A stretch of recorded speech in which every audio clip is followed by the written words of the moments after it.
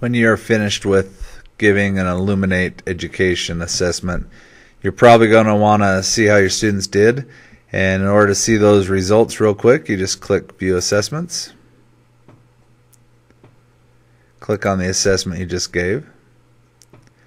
Should give you a nice little pie chart.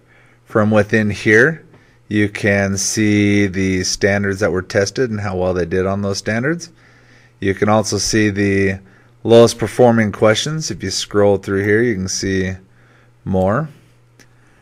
Right after I give an Illuminate assessment, one of the things I do is what I call instant reteach, where I take the lowest 6 to 10, 15 questions. I usually just take the lowest 6 and I go over those questions with my class right away so I can have a discussion as to why they would have missed that and it's real simple. All you have to do is click the question itself and it'll pull up the actual question and you can actually reteach those right away so just students kind of can see what they missed on that.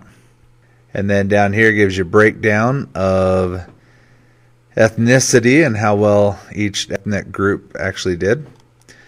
The other thing that you can do is pull individual scores. So you're going to click this number that says 138 students. And then you can filter it by the class that you took. So let's just say I'm going to take my earth science. I want to see how my first period did. And I can click submit. And you're going to be able to see your students down in here and how well they did. And it'll color code their performances. The other thing that you can do that's pretty fancy is be able to filter by uh, name. Let me pull up my son here. And we'll hit submit and we can actually see how well he did on that test. And it'll pull his grade up as well.